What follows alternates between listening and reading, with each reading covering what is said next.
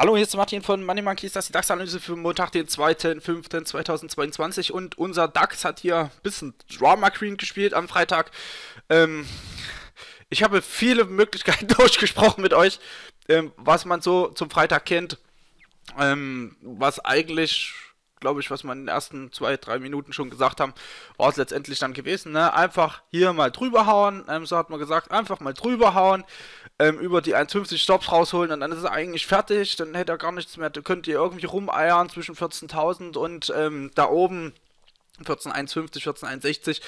Im Endeffekt ist es das geworden, auch wenn er mögliche andere Szenarien gut angespielt hat, die wir auch besprochen haben. Also, das war irgendwie so von allem irgendwas, aber am Ende auch gar nichts und am Ende wirklich nichts. Ne? Also, am Ende war ganz schwach. So, und ähm, da bin ich jetzt auch wirklich ein bisschen im Konflikt mit mir selber ähm, weil wir das jetzt schon öf öfteren mal haben, dass wirklich die letzte Stundenkerze mir eigentlich die Analyse versaut, ne? weil man, weil man irgendwo drunter ist oder so weiter. Das haben wir jetzt die letzten Tage immer mal wieder gehabt, dass wirklich die letzten zwei Stunden oder die letzte Stunde einfach nochmal so, so ein Krepierer wurde und der abgeht, weil an sich hat er exakt das gemacht, was ich mir jetzt hier vorgestellt habe. Er ist hier einmal drüber gegangen, ne? so hat man es auch gesagt, er musste nicht an die Linie da oben dran, und kann einfach bloß hier die ersten Stops wegholen von hier, die eben reingekommen sind, als dieses Glasembargo-Thema aufkam. Ähm, die sollte er im Stopp abfangen. dann noch einmal zurück, damit die angeködert werden, so nach dem Motto, ah, ich habe ja recht gehabt, der Markt fällt, geh wieder rein und dann sollte er rausgehen. So, was ist, was hat er jetzt gemacht? Wir haben jetzt hier die Stops rausgetreten, von denen die hier aufs Ölembargo angesprungen sind, haben die ähm, quasi rausgenommen, zumindest die, die Stop-Loss übers letzte hoch gemacht haben, das ist ja eigentlich recht gängig, das machen viele so, und dann hat er unten angezogen, wieder mit Öl-Embargo, das heißt, die Leute, die jetzt hier im Stop-Loss rausgestoppt wurden, die sind gegebenenfalls jetzt hier sogar ein paar hundert Punkte unten drunter wieder eingestiegen, und die könnt ihr jetzt eben auch rausschmieren. Und die könnt ihr jetzt eben auch rausschmieren mit ein bisschen Dynamik. Aber die letzte Kerze ist mir ein bisschen zu massiv. Das ist mir der, ich kann, kann ich nicht jetzt mich einfach hinstellen und sagen, na, der geht Montag oben raus halt, ne? Auch wenn ich das, ich sag mal, Stand der Situation, an, an dem Punkt, Freitag, ähm, 20 Uhr, da noch felsenfest dahinter gestanden hätte, aber das ist mir einfach ein Tacken zu tief. Der ist auch aus dem, aus dem Aufwärtstrend raus, ne? wenn ich jetzt hier eine Trendlinie ziehen würde, also runter, er kommt vom letzten Hoch recht dynamisch runter. Ne? Er hat mit drei Kerzen das ausgearbeitet, was er vorher mit gut sieben, acht Kerzen hoch zugeschafft hat. Also das könnte auch im blödesten Falle ein neuer Abwärtstrend-Impuls werden, ne? dass er sagt, okay, er hat jetzt hier eine kleine Flagge beendet, der macht jetzt hier weiter. Und dann kann das sein, dass der Montag bloß kurz nach oben den Kopf hebt, früh, morgen, ähm, vielleicht in die Xetra-Start rein, einfach mal ein bisschen positiv läuft, so nach dem Motto ähm, Sparplankäufe und so weiter und dann sich nach unten abschmiert. Also dass hier quasi so eine erste Abwärtswelle, äh, so ein erster Teil einer Abwärtswelle gewesen ist, dann kommt er kurz hochgucken und dann kriegt er die nächsten dahinter. Und da muss man dann wirklich ein bisschen gucken, ne? wie verhält er sich um den Xetra-Start rum. Ich glaube, das wird zum Montag alles entscheidend dann sein. Je nachdem, ob er den nach oben meistert oder nach unten wegbricht. Also, was, was kommt nach? Nachdem der Xetra eröffnet wurde. Ne? Sehen wir dann neue Tagestiefs, sehen wir dann neue Tageshochs, wie verhält das sich?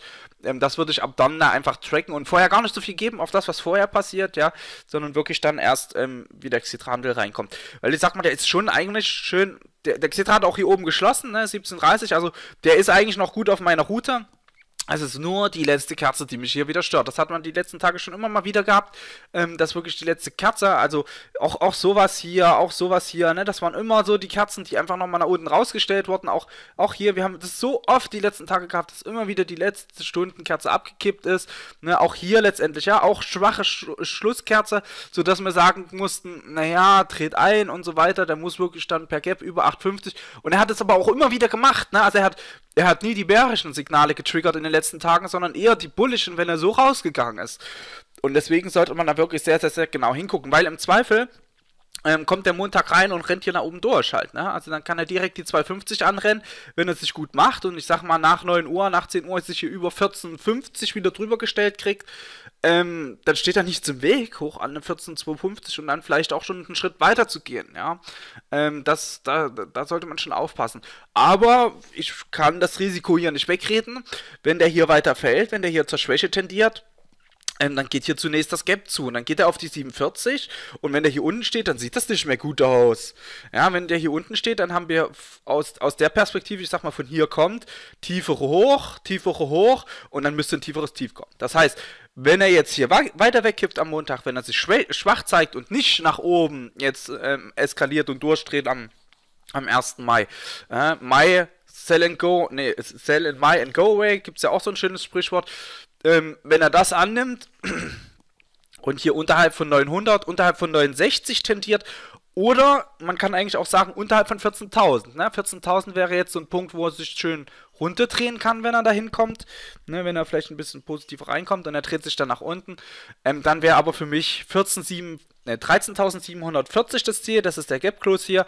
Und dann auch ein neues Tief, das muss man so sagen. Dann geht er unter die 13.578 runter und da ist eben auch noch ein offenes Gap bei 13.540 sodass man sagen könnte, 13.740 bis 13.540 wäre am Montag in einem Negativszenario ähm, Anlaufziele. Das heißt, wenn ihr seht, der Markt ist schwach, der kommt komisch rein, der tendiert nur flach nach oben und dann kickt er sich immer wieder dynamisch nach unten.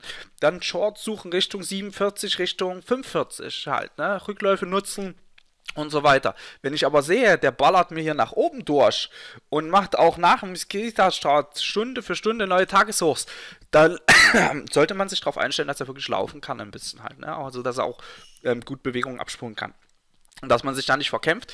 Ähm, mich hat das am Freitag schon gewundert, das habe ich noch nie gesehen. Ja, also da waren bei uns so viele Short gewesen, da habe ich mir schon gesagt, also das kann eigentlich nicht funktionieren, aber es hat funktioniert. Die wurden alle bedient in ihrem Short und ähm, erfahrungsgemäß sollten die dann eben auch aufpassen, wenn dann so ein Abwärtstrend bricht, das funktioniert dann eben nicht mehr. Ne? Wenn man sich dann einfach immer in die neuen Hochs Short reinstellt und dann nochmal nachkauft und nochmal nachkauft und nochmal nachkauft, das haben viele gemacht, die wurden da wirklich belohnt am Freitag. Das hat mich schon ein bisschen gewundert. Aber da muss man eben aufpassen. Wenn man das jetzt dann in so einem Trendbruch macht, ähm, kann das wirklich passieren, dass man die Einstiege eine ganze Weile dann erstmal nicht mehr wieder sieht und sich dann wirklich gut, gut was ins Genick schießt. Ne? Da muss man wirklich aufpassen und vielleicht auch sagen, okay, habe ich jetzt mal Glück gehabt letzte Woche, ähm, sollte ich für nächste Woche mir vielleicht eine andere Strategie überlegen, weil es passieren kann, dass das dann eben nicht wieder klappt. Aber das habe ich noch nie gesehen. Ne? Also da waren bestimmt 6, 7, 8 Leute gleichzeitig short, keiner long. Ähm, normalerweise gibt es dann immer einen Klatscher nach oben, ne? Dann spuckt er so nach oben raus, mal kurz, holt die alle raus, aber hat die alle bedient, ja. Aber kommt auch mal vor, ne? Das ist, äh, die privaten Anleger verlieren nicht nur, verlieren nur unterm Strich am Ende. Okay, gut, ja. Dann sind wir soweit durch. Können wir im Tageschart noch irgendeine Erkenntnis gewinnen? vorherige Kerze wurde nicht komplett ausgekontert. Wir sind aber vom mittleren Band abgestoßen, also von der SMA 20. Drehen wir uns nach unten. Bänder gehen aber schon fast zur Seite, stabilisieren hier, also geben jetzt nicht unbedingt das Risiko nach unten frei. Ähm, ja, nee, Tageschart würde ich zurückstellen. Gibt mir jetzt kein Signal. Wäre der Kerzenschluss unter der Vortageskerze gewesen, ähm, wäre das ein Kontersignal gewesen. So ist es jetzt erstmal nur ein Rücklauf. Und wir gucken mal. Also ich würde das Szenario schon noch drinnen bleiben. Hab das auch im Verteiler rumgeschickt. Ich sehe den schon noch ein bisschen höher. Aber das ist Kante halt. Ne? Es ist wirklich, also gerade das, was er in der letzten Stunde gemacht hat, dazu tief gekommen.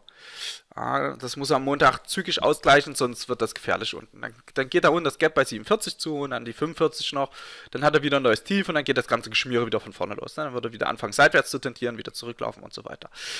Gut, okay, dann machen wir jetzt hier zu. Ich wünsche euch viel Erfolg, gutes Gelingen, dann hören wir uns morgen wieder. Bis dahin, tschüss.